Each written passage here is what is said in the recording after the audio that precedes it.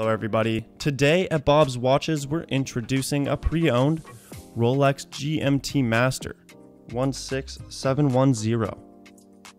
This watch contains an N serial number indicating that it was produced by Rolex in the year 1991.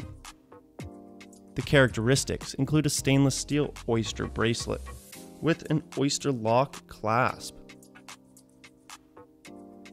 The dial is black with a super luminova display and a red GMT hand. The case is 40mm stainless steel with a red and blue Pepsi bezel insert and has a scratch resistant sapphire crystal, along with an automatic 3185 movement. This GMT comes with a Rolex box, booklet, and we offer a Bob's certificate of authenticity.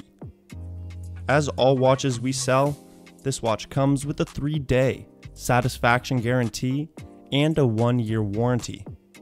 You can purchase this watch by clicking the link in the description below or by searching for Bob's Watches 16710 in Google. And as always, be sure to like and subscribe for future videos.